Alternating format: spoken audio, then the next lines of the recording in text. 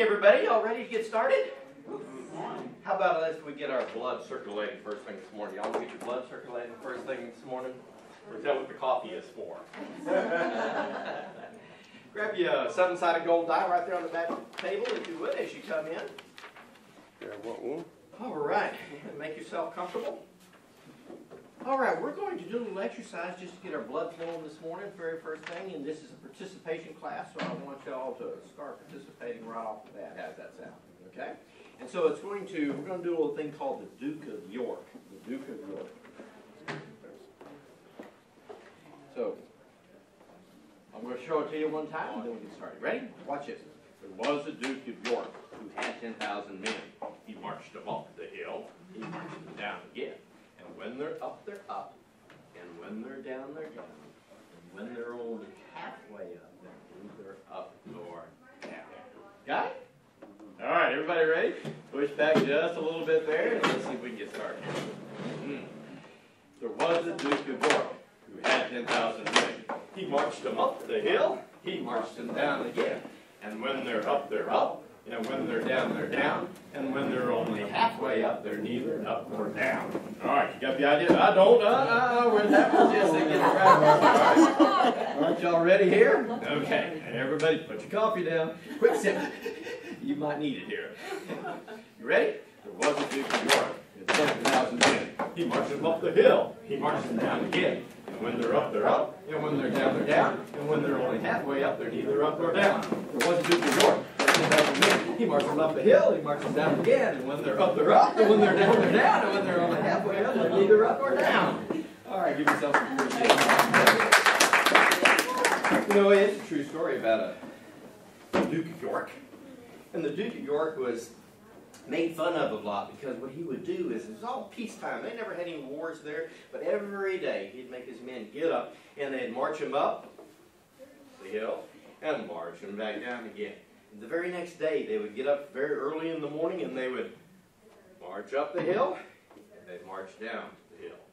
And guess what happened when war actually broke out? They were what? Ready. They were ready, that's right. They were prepared to be able to deal with the task because they had done the preparation work ahead of time. And so, if we only do half of it, we're neither up or down, are we? And so, when we look at Toastmasters, when we look at our abilities to be able to accomplish things, we literally need to go all the way up. We need to make sure that we put all the time into our into our program and, and don't procrastinate like I have a tendency to do sometimes. Y'all don't ever procrastinate, do you? No, no, I'm so glad that. I'm so glad for that. Well, today we're talking about doing the impossible. That doing the impossible is much easier than you think. And we've got a tool to help us to begin to do that. And I want you to begin to think about some things that seem to be impossible to you because we want to begin to take those things and we're going to take a look at it as a team and see if we can't figure out how to do some of these impossible things. Have you ever seen a seven-sided gold die? Did everybody get one when you came in? Okay, you're missing one. Can you give her a seven-sided gold die real quick? This is a small one that you keep in your pocket all the time. It's a seven-sided gold die. All it is is a tool to help us to organize our thoughts. You know, Napoleon Hill, after he had interviewed over 500 people, he had wrote you know, in his book, Think and Grow Rich, that whatever the mind of man can conceive and believe, it can achieve. It can achieve whatever the mind of man can conceive and believe it can achieve. What that really means is that it comes from the inside. All those solutions, every single thing from you comes from the inside out. When you look at this seven-sided gold die, it's going to have six outsides, and it's going to have one inside. The inside's invisible, but you know it's there, right? You know it's there. The seventh side actually makes up over 99.9% of it. If you were to take those little pips off of the back of it, it would look like a block of gold. A block of gold. And that's what that really is. It's a solid block of gold. And what we're going to do is we're going to put ourselves on the inside. Because we realize that we think from the inside um, out. We think from the inside out. Every single thing that we accomplish, we accomplish first of all in our in our mind, in our thoughts process, before we accomplish it any any place else. And so it's that thinking process. We can always go back. Now, the way this actually functions, is it functions sort of as a trigger, a trigger for your brain. Okay. For an example, our brain is triggered by five physical, or five physical senses. The things that we hear, the things that we smell, the things that we taste. Okay, did you say kiss? the things that we taste, all right. The things that we what? Touch touch and feel, that's right. And also the things that we see. The things that we see are five physical senses.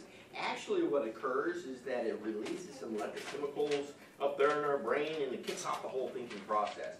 Have you ever seen a, uh, maybe like a stick laying on the ground and you thought it was a snake and so you jumped? Yeah. That ever, right? Okay. What literally occurred is that instantaneously, or in about two milliseconds or two thousandths of a second, that image came actually into your eye gate, all the way down to your survival brain, to your lowest brain here, and said, "Be careful, watch out," and you jumped. It took about 500 milliseconds, or about a half a second, until you realized it was just a stick, and you had nothing to fear of. But literally what occurred is that your brain was triggered almost instantly. And so we realized this, that we can take and trigger our brain. If we trigger our brain, that means we can start it to do something. We can set it on in motion. Does that make sense? Have you ever smelled something and maybe reminds you of your mother's cooking? Right? Have you ever heard an old song and it really carried you back? So if we choose to trigger our brain, if we choose to do that, we can actually take control of it. Now, bless you. Let's see, where did I, here we go. You know, I have a muscle here, not a very big one.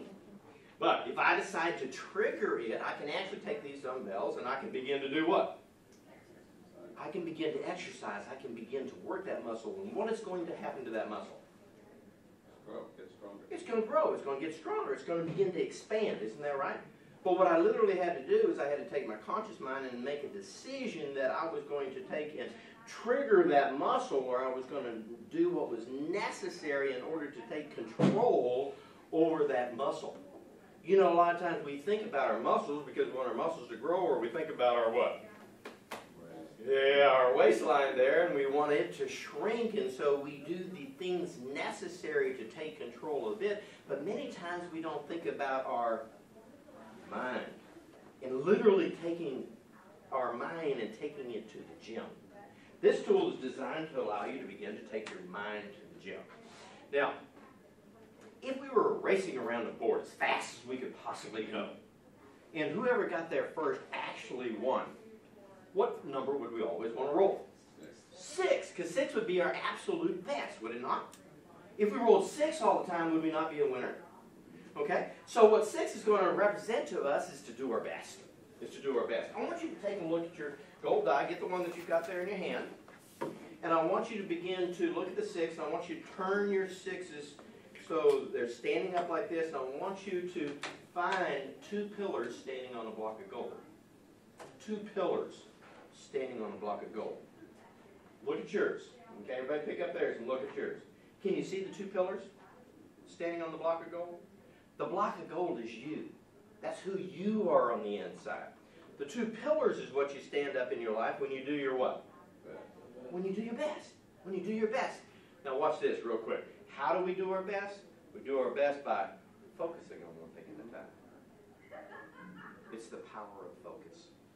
If you begin to think about it, every single thing that you've ever accomplished in life, you've accomplished because you have had this laser focus. You have taken and made a decision that you were going to deliver that speech, that you were going to get up there and you were now going to go from the five to seven minute speeches, and now you're got this 20 to 25 minute speech that you're going to have to prepare. You're going to work through this manual. It's got some big things, and you've made a decision that you're going to focus on that one particular thing.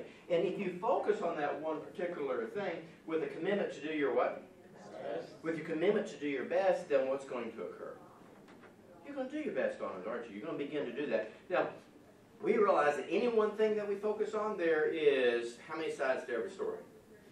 Two. There's two sides to every story, or more. Could be a hundred different stories. If we saw, if there are five people that saw an automobile accident out here, how many stories would we have? Five, five different versions of it. So two is really going to remind us to take that one thing that we're committed to do our best on, And as we take a look at that one thing, we're gonna take and divide it down. We're gonna try to see what we don't see, because in everything that we want to do, for an example, let's say we wanna do our absolute best, and there's one thing is a project that we're working on, there's what we know, and there's what? Everything we don't know, everything that we don't know. And so we have to begin to understand everything that we don't know. There was a gentleman by the name of Benjamin Franklin. I don't know if you ever heard of him or not. Benjamin Franklin. Benjamin used to take a board and he would take it, divide it in half, right? A sheet of paper, and he would look at something, and he would look at the what? The pros and and the cons, in the cons. And so that one thing that he wanted to do his best on, he would divide it in half, right? And he'd begin to look at the pros and begin to look at the cons. So let's say that one thing that's impossible that we want to tackle, that one thing that seems to be overwhelming to us, that we want to begin to do something with. We can begin to subdivide that thing down and we can look at the pros and the cons. We can begin to look at the cost and the benefit. We can look how it affects us short term and how it affects us what? Long term. Every single thing we can begin to break down. We can begin to understand about it so we can begin to solve our problems. You know, a lot of people, uh, anybody ever under stress? You ever feel like you have a little stress, a little stress and worry? Okay? I want you to think about this for just a second.